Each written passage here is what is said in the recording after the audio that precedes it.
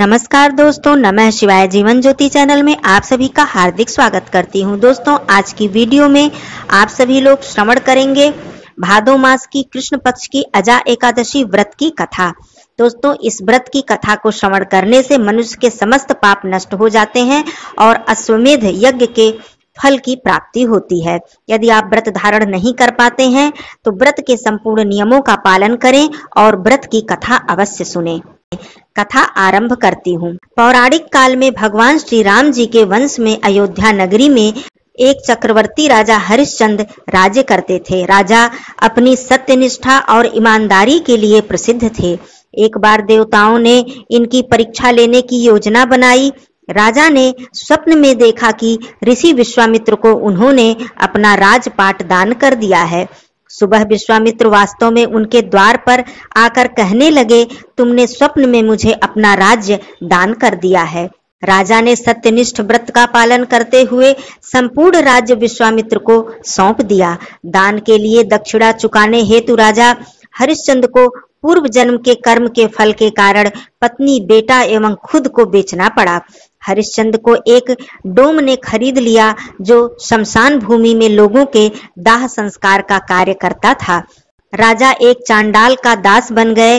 राजा उस चांडाल के यहाँ कफन लेने का काम करने लगे, किंतु राजा ने इस विपत्ति में भी सत्य का साथ नहीं छोड़ा।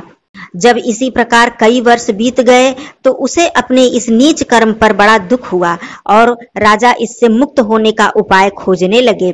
वह सदैव इस चिंता में रहने लगे कि मैं क्या करूँ, किस प्रकार से इस नीच कर्म से मुक्ति पाऊँ।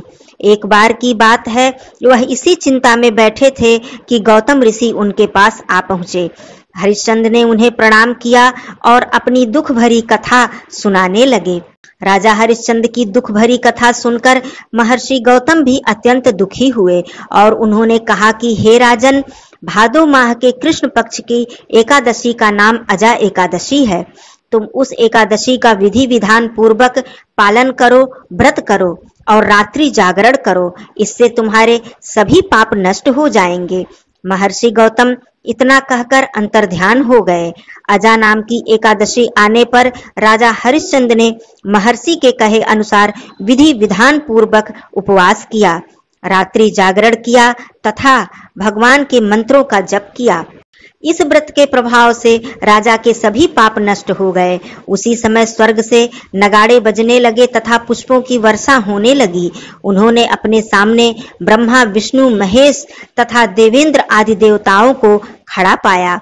उन्होंने अपने मृतक पुत्र को जीवित तथा अपनी पत्नी को राजसी वस्त्र तथा आभूषण से परिपूर्ण देखा। व्रत के प्रभाव से राजा को पुनः अपने राज्य की प्राप्ति हुई।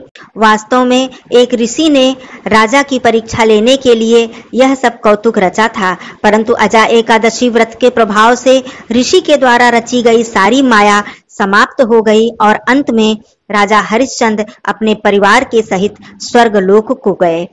श्री कृष्ण जी युधिष्ठिर से कहते हैं कि, हे राजन, यह सब अजा एकादशी व्रत के प्रभाव से ही संभव हो पाया। जो मनुष्य इस उपवास को विधि विधान पूर्वक करता है, रात्रि जागरण करता है, तथा भगवान के चरणों में ध्यान लगाता है, उसके सभी पाप नष्ट हो जाते हैं, और अंत में वह मोक्ष को प्राप्त होता है। इस एकादशी व्रत की कथा के श्रवण मात्र से अश्वमेध यज्ञ के फल की प्राप्ति होती है। बोलिए श्री हरि विष्णु भगवान की जय। माता लक्ष्मी मैया की जय। कथा समाप्त हुई। धन्यवाद दोस्तों, नमः शिवाय।